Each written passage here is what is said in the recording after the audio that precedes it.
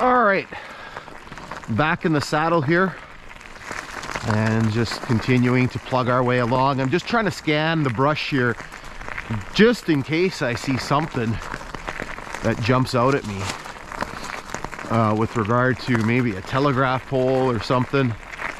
Now, I was made aware that some areas where you don't see any could be due to the fact that when they did remove them and they just cut them down, right? They just went along and just buzzed them all off. Um, and you've seen that on previous hikes that people could purchase the poles. Um, they had to kind of sort of drag them out on their own. I don't know about this area, but I, I know for certain uh, further to the east, up in uh, in Greenstone, that was the uh, that was the case. Oh, partridge.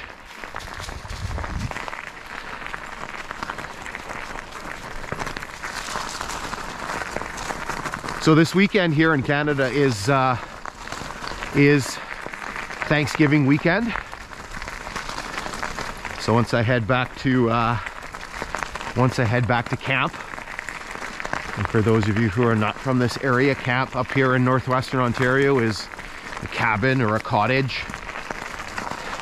Once I head back to camp, we're uh, gonna do a little bit of Thanksgiving dinner out here. Get the family together very pretty in through here with the uh, with the poplars even though they're losing their leaves.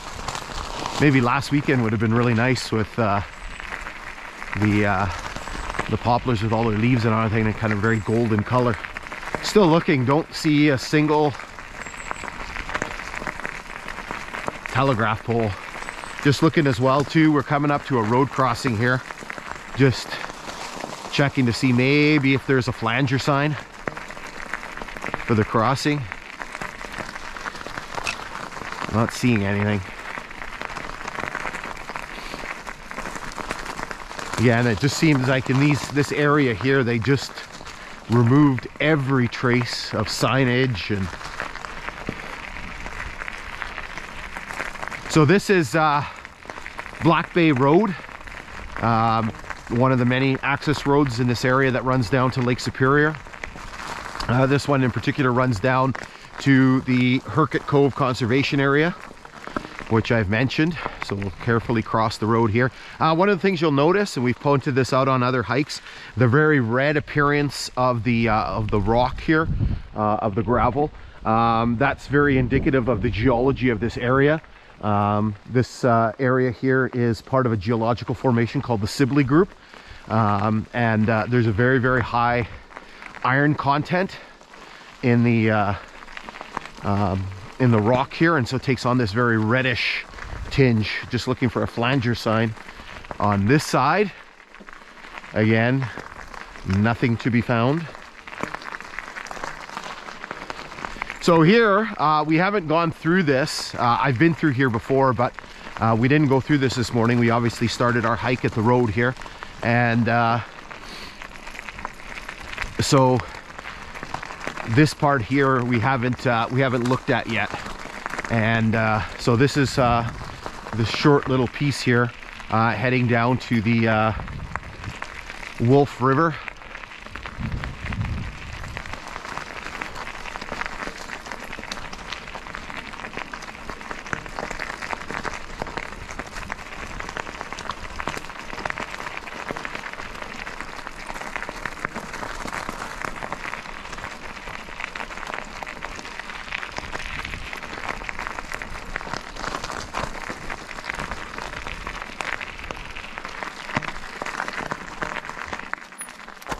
So somewhere here is supposed to be milepost 147. Um, again, I don't think it's here.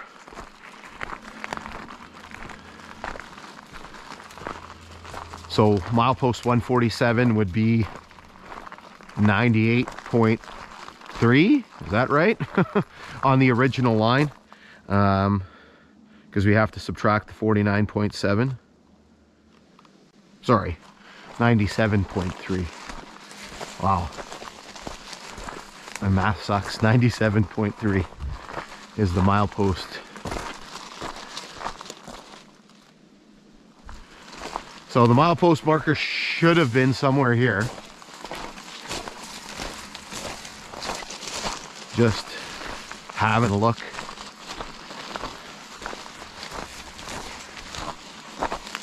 Sometimes they, uh, sometimes they would cut them off and you see the little stub of the pole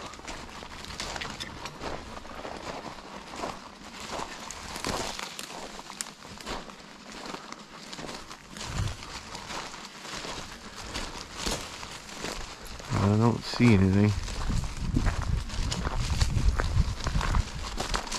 Sometimes you got to just be lucky too. If it's on the ground or if the, the stub of the pole is there, um, you just got to be lucky to, to see it because again, in the vegetation like this, it's really difficult to see anything.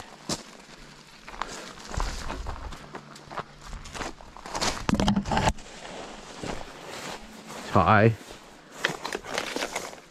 piece of a bucket here. Oh, fingers are like in my gloves are cold.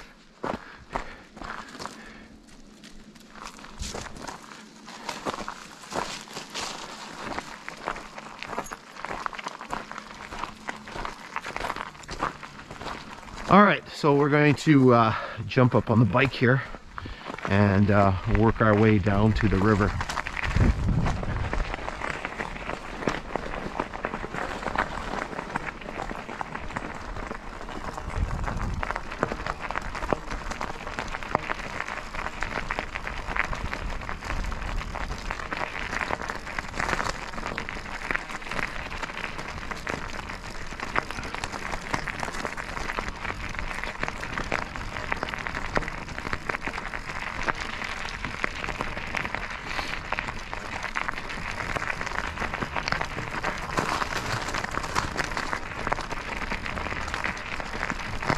Grade is nice and uh, nice and wide and nice and clear in this area here.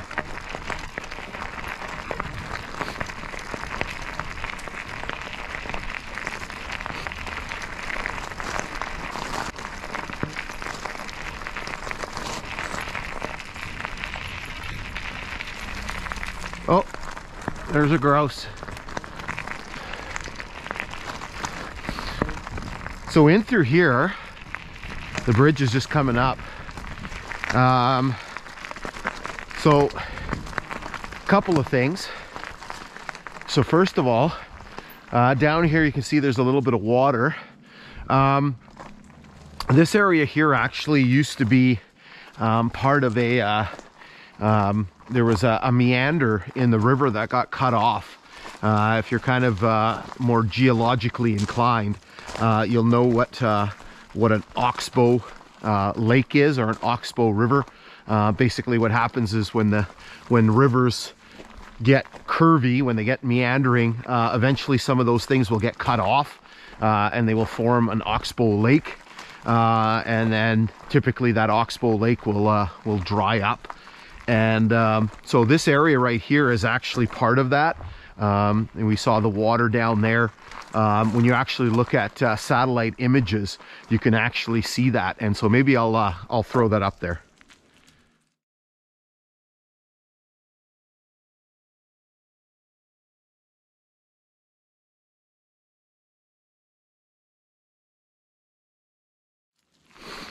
And so here um, we also have um, a uh, a feature. Uh, so when the railway line was originally proposed, uh, there was supposed to be a station in this area here, and it was called Wolf. Uh, obviously named after the Wolf River, which is just coming up uh, up there. Uh, you can see the, the barricades there in front of the bridge. Um, the, the station was never built. Um, and basically what you ended up with is you ended up with a major station uh, just to the south uh, which is Dorion. Uh, and uh, um, again, Dorion was one of the major stations. It was basically um, kind of in between um, Nipigon and, uh, and Port Arthur. And then uh, um, obviously we had Hurkett, which we just passed, which was not a real station, just a flag stop. But uh, uh, the, the the proposal originally was to create a, a station in this area, and it just uh, never panned out. And there were several of them. Um, um, you know, there was one up closer to Orient Bay that was never constructed. There was one, uh, obviously here, and that was just sort of part of the the natural progress of things, right? Where, you know, things changed as the railway line was constructed. All right, let's uh, plug our way along here to the river, which is just coming up right up ahead of us there.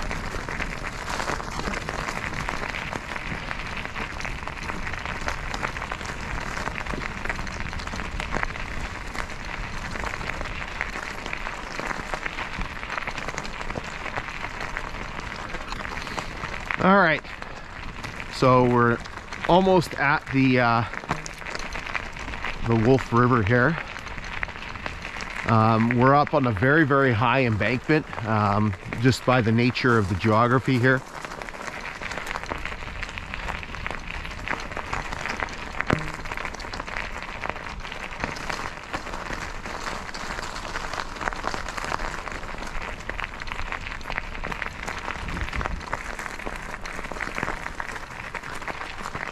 Again, no uh, telegraph poles or anything. Just looking through the brush there and see if I see anything. So hard to, the brush is so thick in here.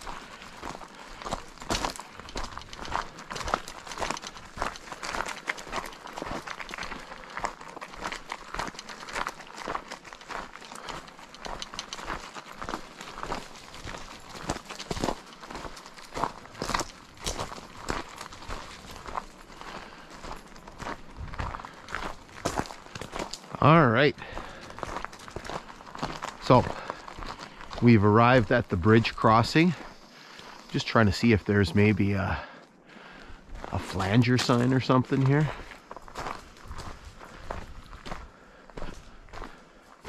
Again, they ripped away all the, seems like they pulled up all the signage. If there's something down here, good luck trying to, good luck trying to see it. Again, the brush is so thick in through here with all of these, uh, there's cedars and stuff. What is that? Probably junk that somebody threw down. Hey, anybody need a twin mattress? I wish people wouldn't do that. I hate when people just dump their garbage.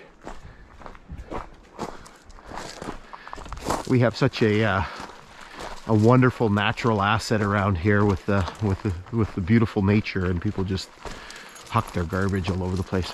All right so uh, we've arrived at the wolf river and so what we're going to do is uh, we are going to make our way across the bridge and uh, do some exploring here